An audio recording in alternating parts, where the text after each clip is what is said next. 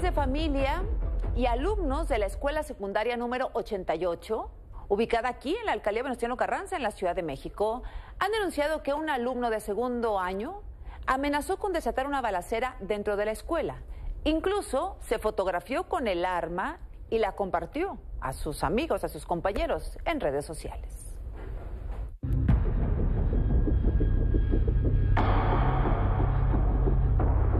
Un niño amenazando, aterrorizando a todos, dijo a una, a una de sus compañeritas que por favor no fueran, que porque iba, iba a llevar una pistola, iba este, a matar a los alumnos, a los maestros y después iba a dar un tiro.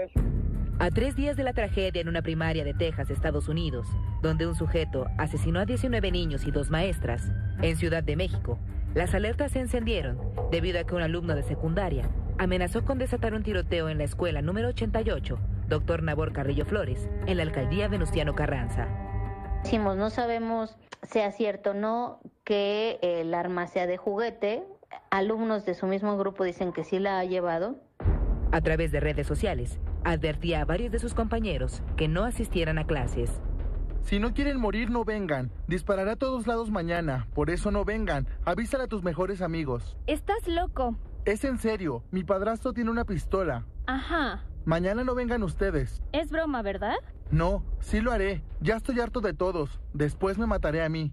Estos mensajes y las fotografías publicadas por el joven alertaron a decenas de padres de familia, quienes denunciaron la inacción y falta de atención de las autoridades educativas el Estado le llegó a mi hijo y me dijo mi hijo, mamá, mira, tengo miedo, yo no voy a ir a la escuela. Hoy llegamos a platicar con la directora, la directora no quería, que no, no van a hacer nada, que porque no, no ha matado a nadie. O sea, que esperan a que los maten? Hoy los afectados acordaron interponer la denuncia correspondiente ante las autoridades, mientras la Secretaría de Seguridad Ciudadana se comprometió a vigilar la zona. Se va a levantar un, este, un oficio, una denuncia y se va a hacer un traslado del, del alumno y no va a ingresar a la escuela.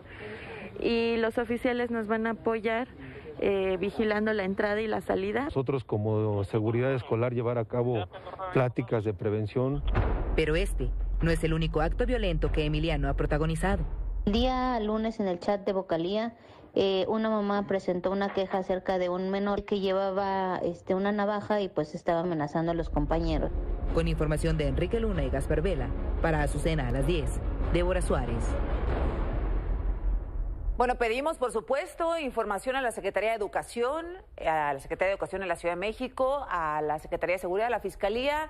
No nos han dado información respecto a qué se va a hacer, particularmente en esta o en otras escuelas, pero pues eh, seguiremos de cerca esta información. Todo lo que se pueda prevenir, hay que hacerlo.